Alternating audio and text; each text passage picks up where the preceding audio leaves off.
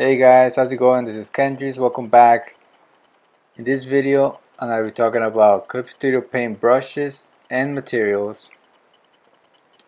And I'm going to be showing you how you can make them and how you can use them to work faster and make a lot of things easier.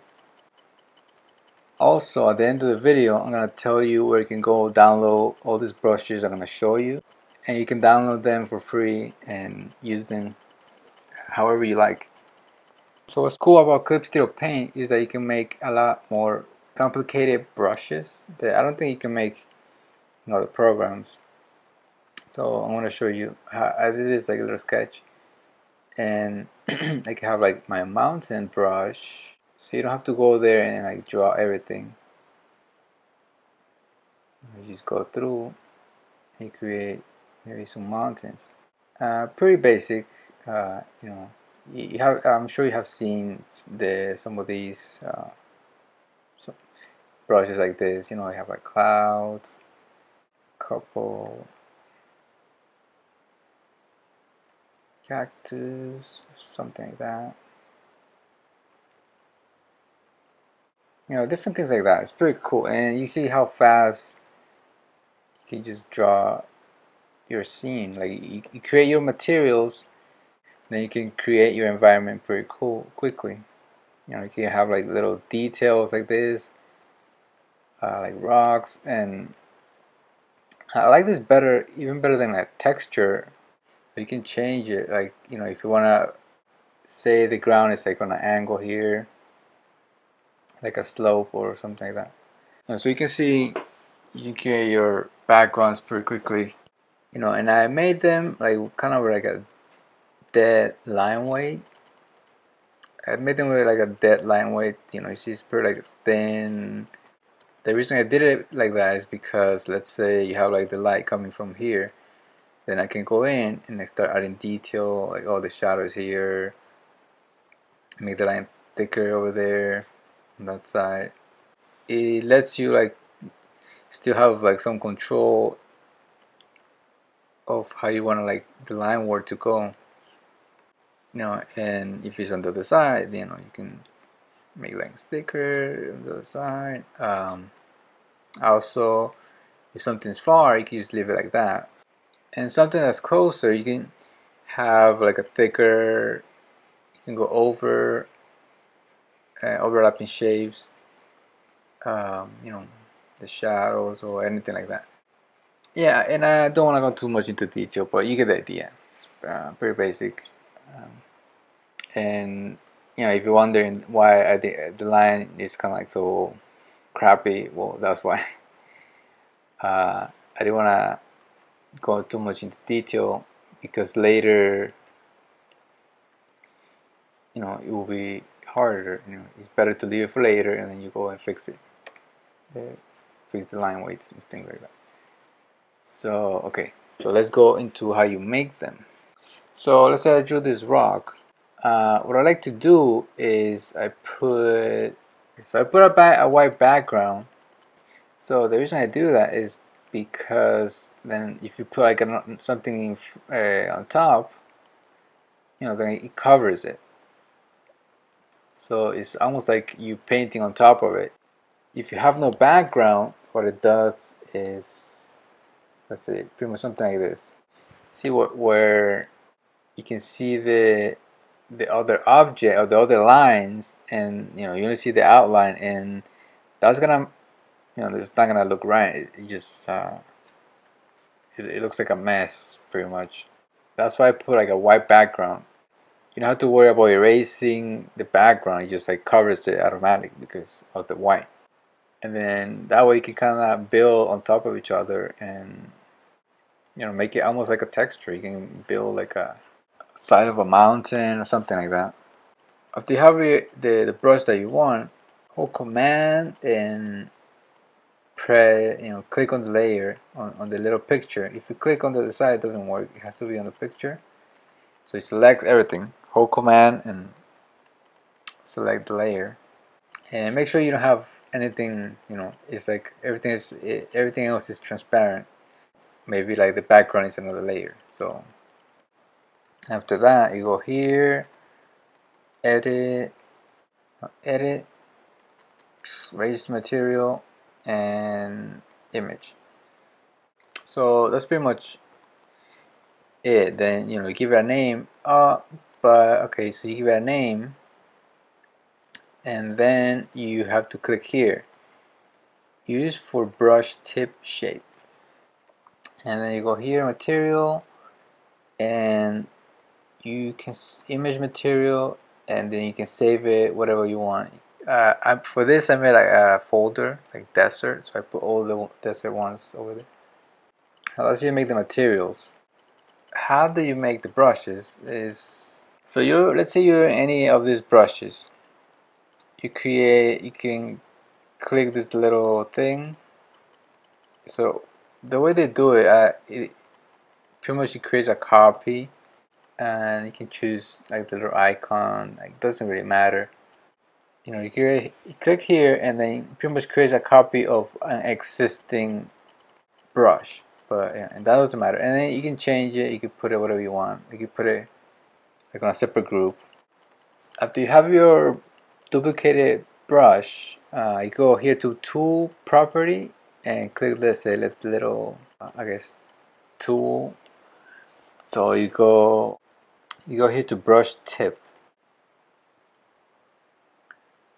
Let's say what there I deleted all the tips they have okay so let's go here brush tip. You can click here and then it shows you all the materials that you have.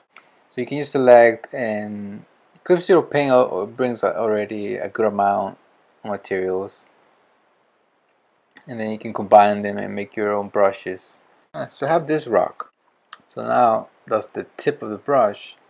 So when I use this brush you know it just uses that. Pretty simple. And but also you can keep adding more. See all these rocks right? And you can put a lot. I don't know how many. Maybe it's unlimited. Uh, I haven't tested how many you can put but you can put a lot like more than 10 like a lot more different. So uh, so if you add different brush tips it's gonna all these are gonna be they're gonna be the brush. So in this video I'm not gonna go too much into detail because it will take forever like uh, I can go but I'm sure most of you guys are not gonna watch all of that.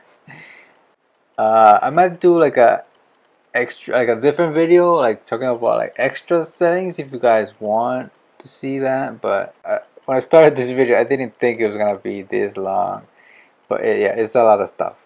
But you don't you don't need to really you don't need to know all the stuff to to make your own brushes and things like that. Okay so the be the the best way to get into making brushes like this is to just because at first you gotta rely on the other brushes that that exist.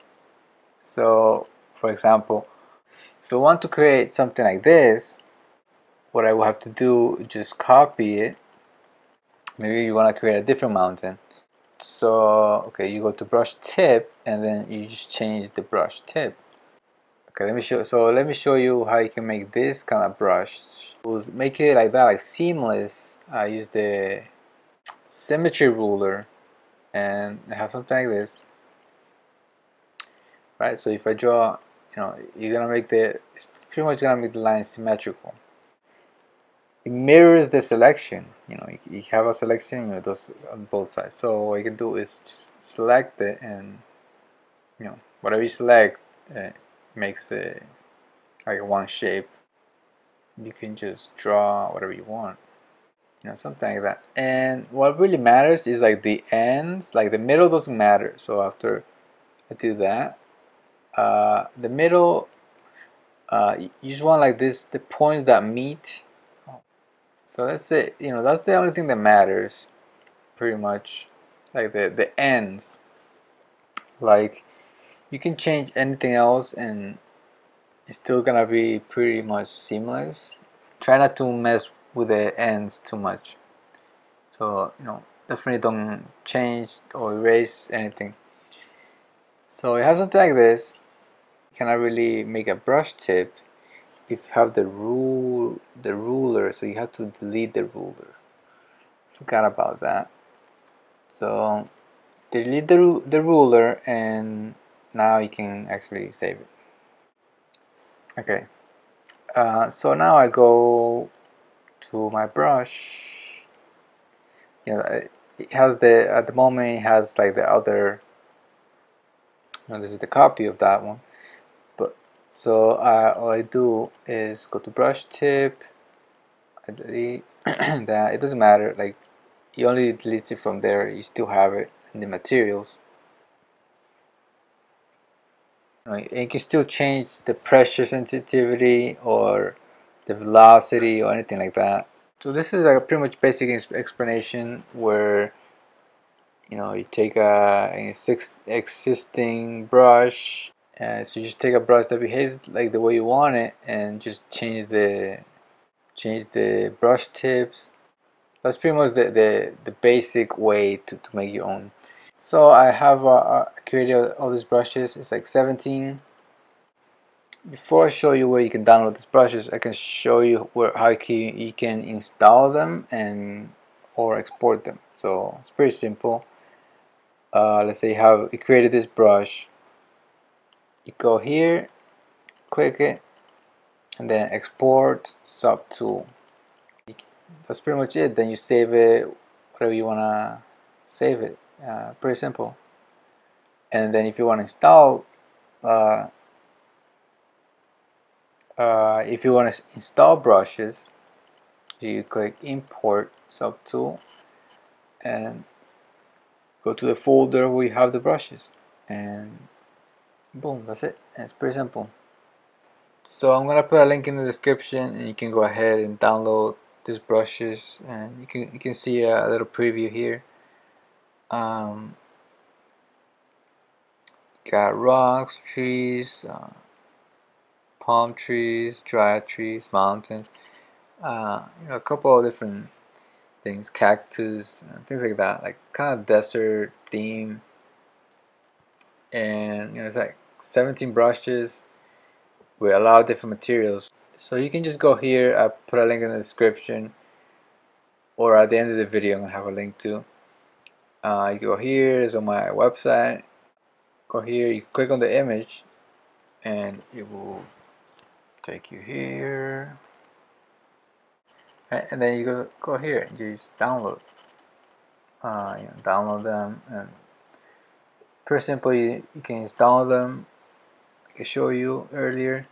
I'm gonna be making a, a lot more like different themes like forests, mountains, swamps, or things like that. And if you guys like them, the way you can get them is by is by joining the mailing list. You can sign, and you get like special updates like that. Uh, this uh, this first one is just gonna be for everybody, but you know I can see how it is if you like them or not so you can leave comments of uh, maybe other materials you would like, maybe other other kind of environments or any other things. You know, just check this out. They're free. Yeah, if you want to see more, just join the mailing list, and I'll I'll be the upcoming weeks. I'll be sending uh, different ones to those people. So that's gonna be it for the video. Thanks for watching, guys. If you like the video share it with your friends and followers and anything like that that will be that will be very helpful. So that's it for now. Take care. Bye